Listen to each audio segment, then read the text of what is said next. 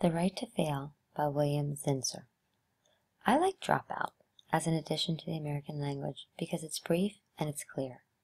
What I don't like is that we use it almost entirely as a dirty word. We only apply it to people under 21. Yet an adult who spends his days and nights watching mindless TV programs is more of a dropout than an 18 year old who quits college, with its frequently mindless courses, to become, say, a VISTA volunteer. For the young, dropping out is often a way of dropping in. To hold this opinion, however, is little short of treason in America. A boy or girl who leaves college is branded a failure, and the right to fail is one of the few freedoms that this country does not grant its citizens. The American dream is a dream of getting ahead, painted in streaks of gold wherever we look. Our advertisements and TV commercials are a hymn to material success. Our magazine articles a toast to people who made it to the top. Smoke the right cigarette or drive the right car, so the ads imply, and the girls will be swooning into your deodorized arms or caressing your expensive lapels. Happiness goes to the man who has the sweet smell of achievement. He is our national idol, and everybody else is our national fink. I want to put in a word for the fink, especially the teenage fink, because if we give him time to get through his finkdom, if we release him from the pressure of attaining certain goals by a certain age, he has a good chance of becoming our national idol. A Jefferson or a Thoreau, a Buckminster Fuller or an Adlai Stevenson, a man with a mind of his own. We need mavericks and dissenters and dreamers far more than we need junior vice presidents, but we paralyze them by insisting that every step be a step up to the next rung of the ladder. Yet in the fluid years of youth, the only way for boys and girls to find their proper road is often to take a hundred side trips poking out in different directions, faltering, drawing back, and starting again. But what if we fail? they ask. Whispering the dreadful word across the generation gap to their parents, who are back home at the establishment nursing their middle class values and cultivating their goal oriented society. The parents whisper back, Don't. What they should say is, Don't be afraid to fail. Failure isn't fatal. Countless people have had a bout with it and come out stronger as a result.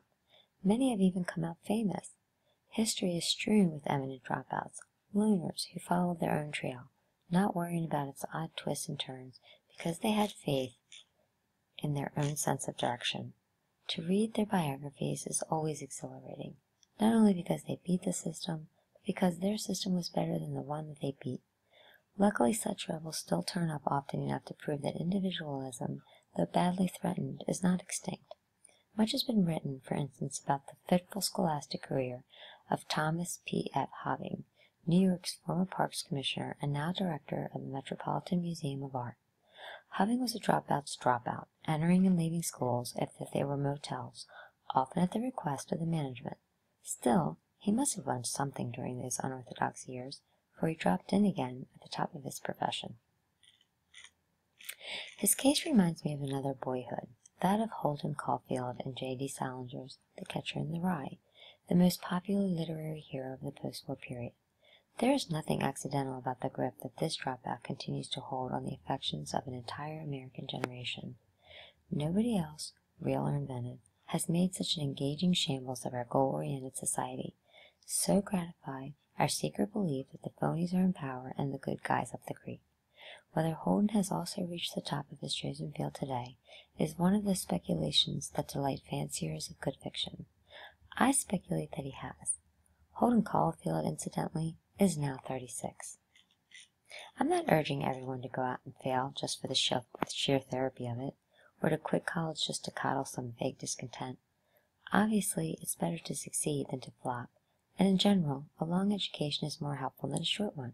Thanks to my own education, for example, I can tell George Eliot from T.S. Eliot, I can handle the pluperfect tense in French, and I know that Caesar beat the Helvetii because he had enough frumentum. I only mean that failure isn't bad in itself, or success automatically good. Fred Zinnemann, who directed some of Hollywood's most honored movies, was asked by a reporter, when A Man for All Seasons won every prize, about his previous film, Behold a Pale Horse which was a box office disaster. I don't feel any obligation to be successful, Zinnemann replied. Success can be dangerous. You feel you know it all. I've learned a great deal from my failures. A similar point was made by Richard Brooks about his ambitious money loser, Lord Jim. Recalling the three years of his life that went into it, talking almost with elation about the troubles that befell his unit in Cambodia, Brooks told me that he learned more about his craft from this considerable failure than from his many earlier hits. It's a point, of course, that applies throughout the arts.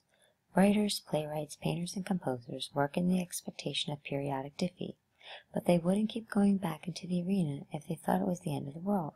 It isn't the end of the world. For an artist, and perhaps for anybody, it is only the way to grow.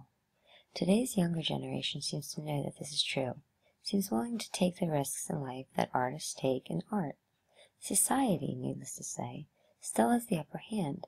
It sets the goals and, and condemns as a failure everybody who won't play. But the dropouts and the hippies are not as afraid of failure as their parents and grandparents. This could mean, as their elders might say, that they are just plumb lazy, secure in the comforts of an affluent state. It could also mean, however, that they just don't buy the old standards of success and are rapidly writing new ones. Recently it was announced, for instance, that more than 200,000 Americans have inquired about service in VISTA, the Domestic Peace Corps, and that according to a Gallup survey, more than 3 million American college students would serve VISTA in some capacity if given the opportunity. This is hardly the road to riches or to an executive suite. Yet I have met many of these young volunteers, and they are not pining for traditional success. On the contrary, they appear more fulfilled than the average vice president with a swimming pool. Who is to say, then, if there is any right path to the top, or even to say what the top consists of? Obviously, the colleges don't have more than a partial answer. Otherwise, the young would not be so disaffected with an education that they consider vapid. Obviously, business does not have the answer. Otherwise, the young would not be so scornful of its call to be an organization man. The fact is, nobody has the answer, and the dawning awareness of this fact seems to me one of the best things happening in America today. Success and failure are again becoming individual visions, as they were when the country was younger, not rigid categories. Maybe we are learning again to cherish this right of every person to succeed on his own terms and to fail as often as necessary along the way.